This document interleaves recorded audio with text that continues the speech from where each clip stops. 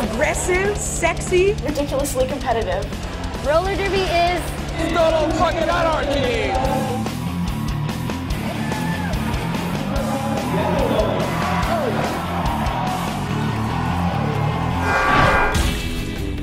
So roller derby is a sport that started up in Texas in the early, I think, 2000.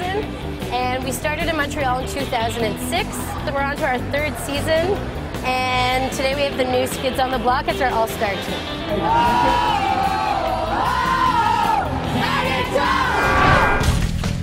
Ladies, fishnets, and fists.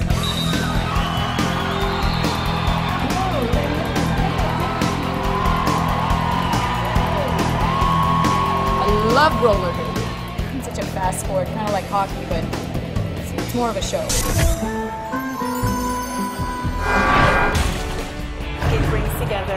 Like a faction of people um, from, you know, the rockabilly, the punks, uh, the queers, the dirty queens, they're all here. So I think that's really kind of beautiful. Well, we are the proud parents of Mustache Rides. Uh, when she first told me she was doing this and told me what it was, a little bit about what it was like, she said, Dad, you're probably going to love it. Mom's going to hate it. And she was pretty accurate with that, I'd say. Mom's a little tense during the games.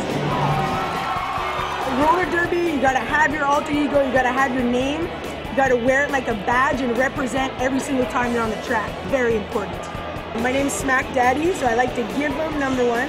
Having a lot of women around me all the time and trying to get in my pants and stuff. I was often told as the Mac Daddy, this and that.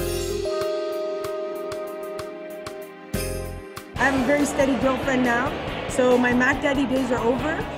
So I got into Derby and I decided just to keep that little, you know, you have that little pride that you were once that guy. Well, I want to keep that alive.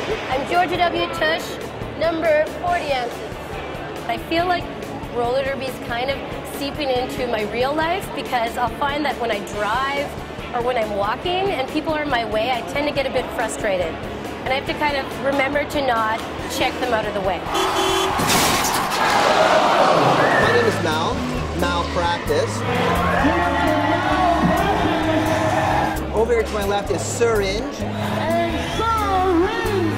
Last week, and we had a fractured leg, but I think the worst of all was a bruised vagina.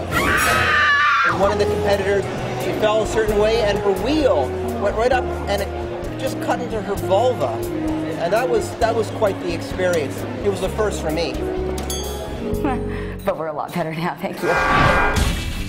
I played hockey for 10 years. High contact, like, I totally, I really missed it.